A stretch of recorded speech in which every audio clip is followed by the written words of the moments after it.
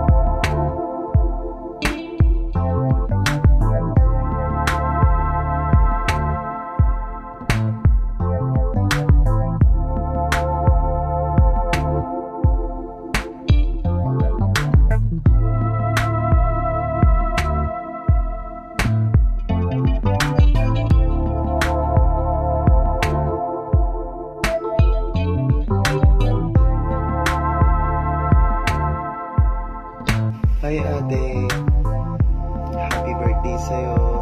Enjoy your day anak. Happy happy si tatay kung ano ka ngayon sa narating mo anak. Stay humble anak and then mag-aral lang mabuti okay. And then thank you kay Mami Tony mo and then kay Daddy Rob mo na lagi nakasuporta para sa iyo sa lahat ng gusto mo. Pati kay Mami Marie, sa pamilya kasama mo ngayon anak. Lagi mong tatandaan anak, mahal na mahal kita. Pasensya ka na anak, hindi si tatay ngayon sa birthday mo. May mga dahilan sitwasyon na balang araw mas may intindihan mo. Okay? Miss na miss na kita palagi.